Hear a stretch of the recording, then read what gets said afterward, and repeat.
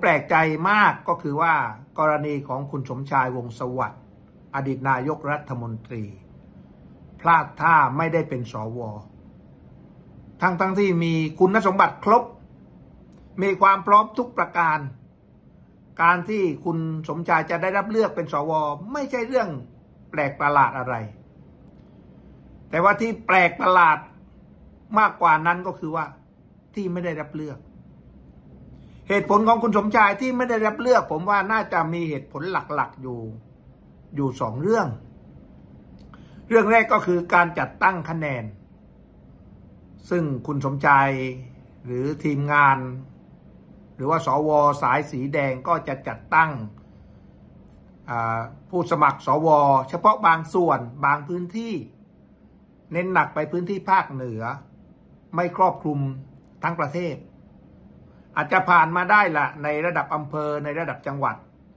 แต่ว่าพอมาเจอระดับชาติ ซึ่งต้องใช้โหวตเตอร์ หรือว่าสวที่เลือกเป็นจำนวนมากเนี่ย ก็สู้สายสีน้ำเงินไม่ได้ สายสีน้ำเงินเนี่ยเขาจัดตั้งเขาสมัครกันทั่วประเทศเขามีคนคุมทุกภูมิภาค เพราะฉะนั้นเมื่อมาสู่เวทีระดับชาติ ก็มีการบล็อกกันได้ มีการเลือกกันได้ เพราะจะเห็นได้ว่าสายสีน้ำเงินก็อันดับหนึ่งถึงอันดับเจ็ดเป็นส่วนใหญ่ก็ก็ได้เป็นมาทั้งสิ้น กับสองผมคิดว่า ความเป็นคุณสมชาย อาจจะถูกคอมเมนต์จากผู้สมัครโดยทั่วไป โดยเฉพาะอย่างยิ่งผู้สมัครที่ ไม่นิยมหรือไม่ชอบระบอบทักษิณมีความรู้สึกว่าคุณสมชายเป็นน้องเขยของคุณทักษิณถ้าคุณสมชายผ่านเข้ามาเป็นสวได้ แน่นอนที่สุดละ่ะตำแหน่งประธานวุฒิก็เป็นของคุณสมชาย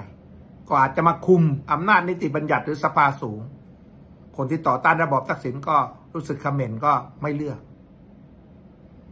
และก็ในส่วนที่สวที่เป็นสายสีน้ำเงิน ซึ่งเขาแพ็กทีมมาเป็นอย่างดี เขามาเป็นเป็นกลุ่มก้อน ถ้าปล่อยให้คุณสมชาย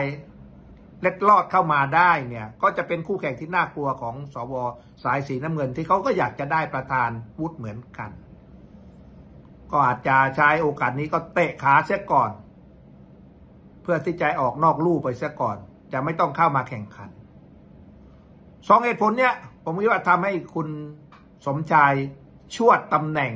สวไปอย่างน่าเสียดาย และเพราะการที่มีสมาชิกในรัฐบาลและก็ในพรรคเพื่อไทยบางท่านออกมาพูดในลักษณะแก้เกี้ยวว่าเห็นไหมคุณสมชายพลาดไปสอบตกไป ก็แสดงว่ารัฐบาลหรือว่า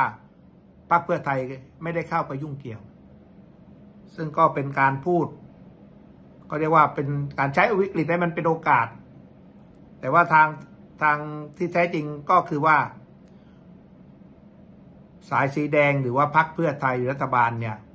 ไม่สามารถที่จะไปดำเนินการจัดการได้เบ็ดเสร็จ เหมือนกับสายสีน้ำเงิน ก็ถือว่าเป็นการพลาดโอกาส เป็นการประมาท หรือว่าเป็นการอะไรก็แล้วแต่ละซึ่งทำให้พลาดท่าได้ ส่วนคณะก้าวหน้าที่เคลื่อนไหวรณรงค์ให้มีคนมาสมัครสวเยอะๆ แต่ว่าไม่ได้เน้นเรื่องการบริหารจัดการ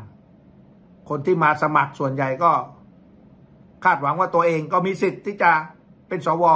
เพราะนั้นจะไม่ยอมให้ใครเป็นสว ก็ไม่ยอมจะเลือกใคร หรือไม่ยอมเทคะแนนให้ใครนะครับ ก็เลยทำให้มีภาพการสร้างดาวคนละดวง แล้วก็เกิดภาพว่าต่างคนต่างเลือก เป็นเบี้ยหัวแตก สุดท้ายก็เข้ามาได้น้อยมากครับ เกมนี้เนี่ยถ้าเป็นสนุกเกอร์เนี่ยเขาก็เรียกว่าน้ำเงิน กินแดงกินส้ม แล้วก็กินเหลืองกินฟ้าหมดทั้งกระดานอะน้ำเงินกินเรียบวันรอดูก็แล้วกันว่า เกมสภาสูงที่ตกอยู่ภายใต้ของ สีน้ำเงินคุมเกมทั้งหมดเนี่ย